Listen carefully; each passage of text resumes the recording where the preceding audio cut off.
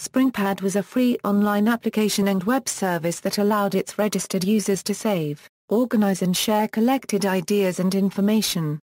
As users added content to their SpringPad accounts, the application automatically identified and categorized it, then generated additional snippets based on the types of objects added are Euro for example, listing price comparisons for products and showtimes for movies. SpringPad was also available as apps on the iPad, iPhone and Android that synchronized with the web interface. SpringPad was bundled on new Toshiba notebook computers through a web application subscription service. On May 23, 2014, SpringPad announced that it would cease operations on June 25, 2014. The company then allowed users to export their data, or to automatically migrate it to Evernote accounts before the expiration date.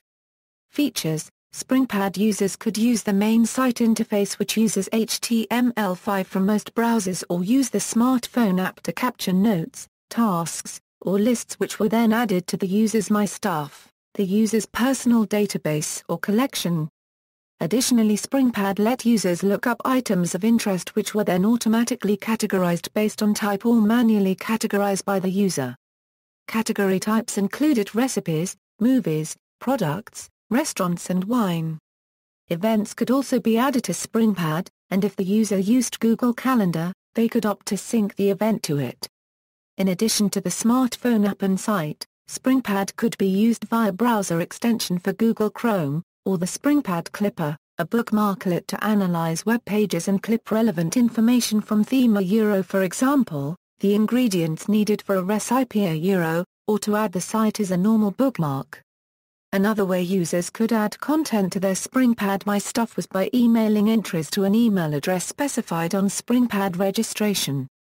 SpringPad smartphone apps could be used to scan barcodes to identify products, save them to the user's My Stuff, and automatically generate additional product information and links. The mobile app could also save images taken with the phone's camera, and locate nearby businesses, with most of the content added to a user's My Stuff, relevant news, useful links and other helpful information could be viewed. Users could also attach additional notes and images to content they had already saved, and could add reminders and alerts which could be emailed to the user or texted to their phone. SpringPad also added alerts to its own alerts section for relevant news, deals or coupons for specific products users added. For additional organization, anything added to SpringPad could also be tagged. Users could also add entries to notebooks to separate content by projects, or any other way they wished. Each notebook included a section called a board, which acted as a pin board where users could pin content they'd added to the notebook, allowing them to visually lay out items. If the user added a map to the board and had entries that included an address, SpringPad could automatically point out entries on the map. By default, everything added to SpringPad was private.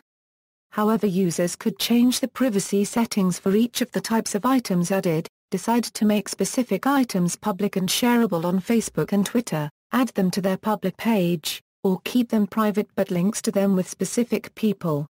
See also, Comparison of note-taking software, List of personal information managers, Evernote. A similar note-taking tool that is often compared to SpringPad. References. Reviews, The Wall Street Journal, Lifehacker, CrunchGear, Time, Gizmodo. External links, SpringPad on Twitter,